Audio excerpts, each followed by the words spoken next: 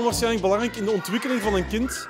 Dat juist die aandacht, die warmte, die interactie, dat die er is. En dat heeft alleen maar positieve effecten naar zelfvertrouwen, naar eh, het aangaan van relaties later, naar de algemene ontwikkeling. Dus ja, zelfs die extra knuffel uh, aan de schoolpoort kan daar zelfs al, uh, al bij helpen.